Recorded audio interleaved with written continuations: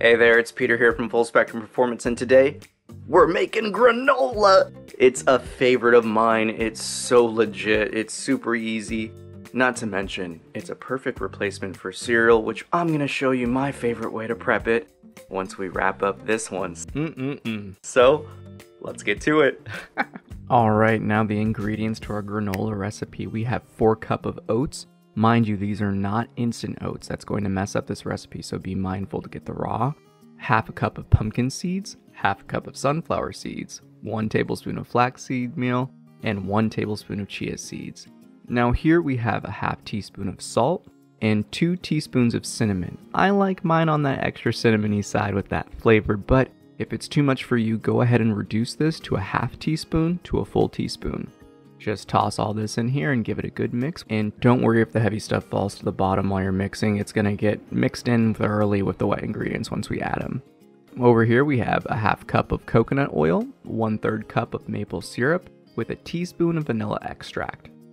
So let's go ahead and mix everything here and give it a really good stir until everything is fully coated. Feel free to throw whatever seeds and nuts you want in. Getting something like a mixed variety of nuts is always a solid go-to, but most importantly, just ensure that you mix everything well here.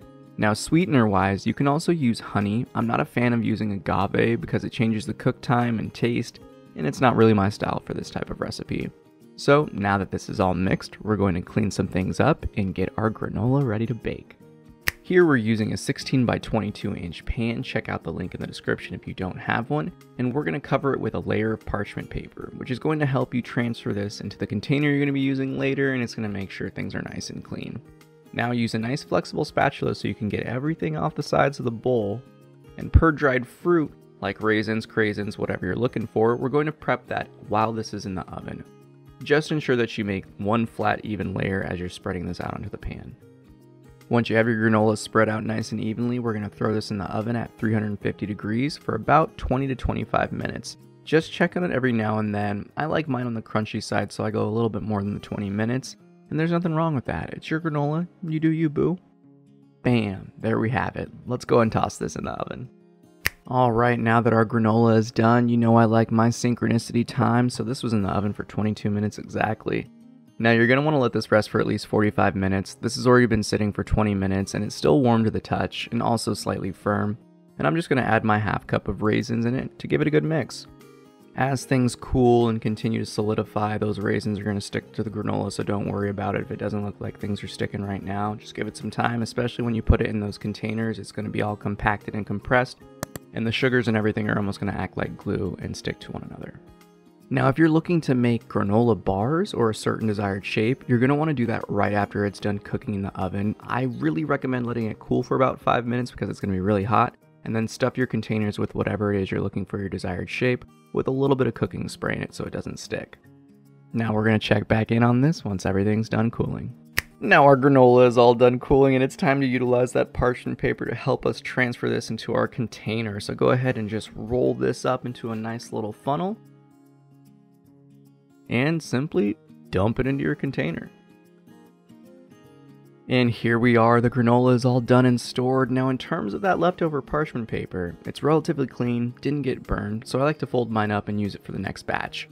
Now I just have to show you one of my favorite breakfast treats using this granola, so let's get to it. Now if you're looking to start your day off right, you're going to want to make some homemade cereal. So for that recipe, we're going to add one hearty cup of granola, one banana, one half cup of fresh blueberries, and three strawberries, one and a half to two cups of almond milk. We're going to mix in our fruit first to the granola just to kind of break everything up and get a nice mixture. And then we're going to top it off with our milk. Now, if you would like to replace the almond milk with a yogurt or any type of medium, do it up. It's really just there to blend the flavors together. And here you have it, a nice, delicious, hearty bowl of cereal using your homemade granola. But wait, what if you don't have fresh fruit? Don't worry, this is a great change up for those extra hot days coming up, and I'll show you just how. Now we're starting off the same, a nice generous cup of granola, and we're to add a little bit more than a quarter cup of frozen blueberries. And here we have another extra kitchen hack treat, one frozen banana. The frozen banana is a great kitchen hack because you don't have to deal with fruit flies and you get a lovely sorbet texture from it. So just crush everything up and give it all a good mix. go ahead and add roughly a cup and a half of almond milk. And if you still haven't watched the almond milk video, what are you doing? Learn how to make this deliciousness yourself. And here we are, another nice tasty bowl of cereal with your homemade granola. This is the bee's knees. I hope you enjoy this snack, breakfast, and overall delicious, nutritious granola recipe. Enjoy.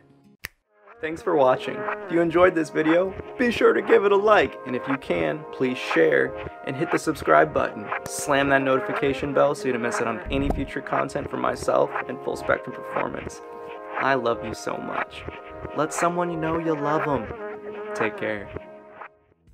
Most of this recipe is really cook time and rest time, so there's no rush into things. Mmm, mm mm mm. Oh my gosh, this is so good. Peace.